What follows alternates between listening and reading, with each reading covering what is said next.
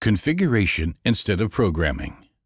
Wago provides comprehensive templates which include ready-made system macros for many common applications. This time-saving convenience minimizes HVAC configuration for users. After rapidly configuring the application, the ready-made application can be directly commissioned. A system macro consists of various function blocks that are linked to one another to enable the control of an entire ventilation system, for example. The manual override function within the system macros allows the operator to override individual system parts using the visualization screens.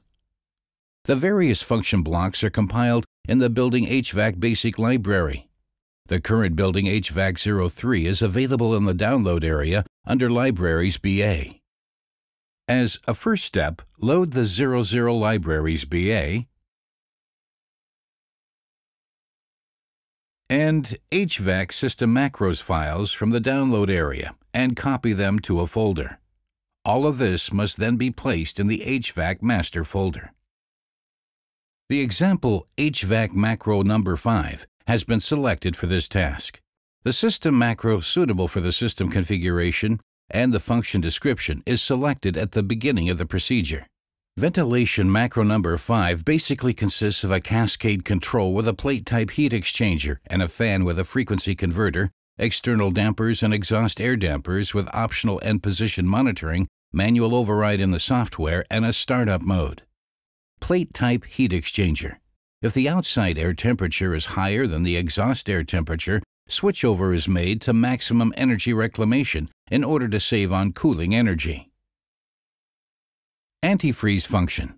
Monitoring of the anti-icing sensor mounted behind the heating element. If the antifreeze protection is triggered then the outside and exit air dampers are closed, the fans are switched off, and the control valve for the heating element is opened. Filter monitoring. Differential pressure monitor for fan filter contamination, speed control of fans. The assignments for the requisite inputs outputs are already provided in the HVAC application note.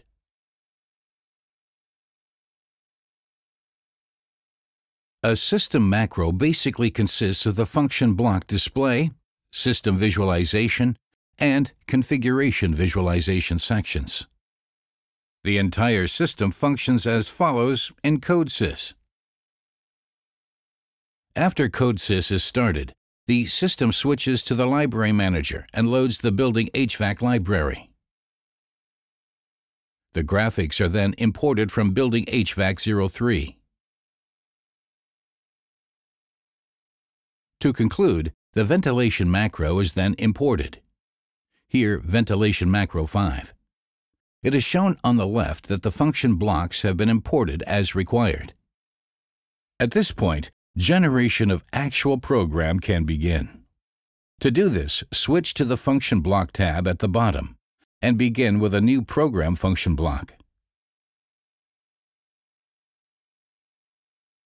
In the example shown here, the Program function block is called PRG-RLT1 the programming language is changed to CFC graphic programming.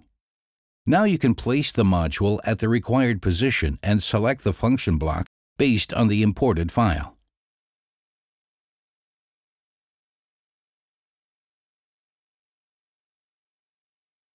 After this, the entity is declared.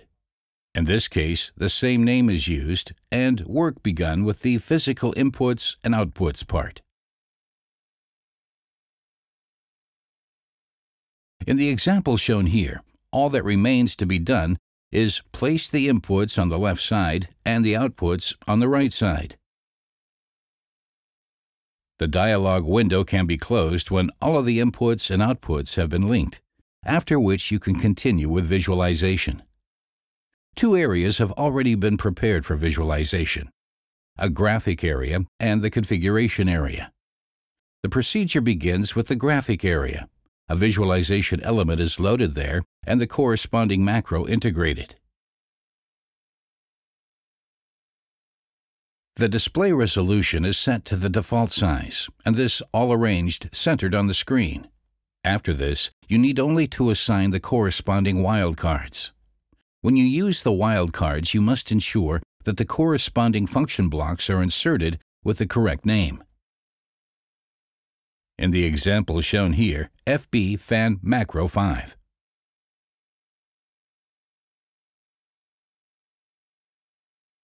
The configuration visualization is created next.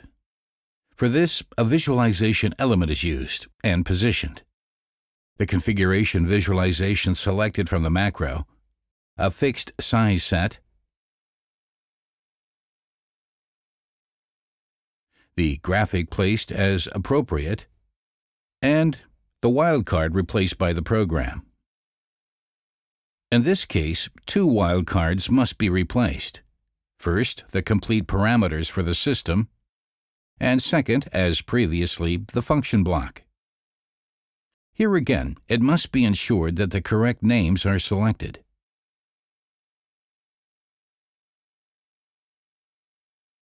To finish up, the entire project can now be set to simulation, the program code compiled, and in-depth testing performed.